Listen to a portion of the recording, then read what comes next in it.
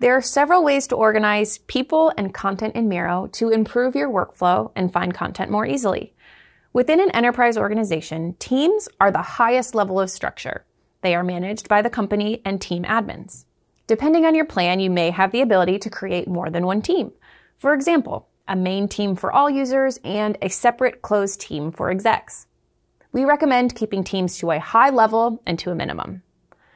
You can find which team you're a part of in the sidebar of your dashboard. Now, within each team, members can create spaces.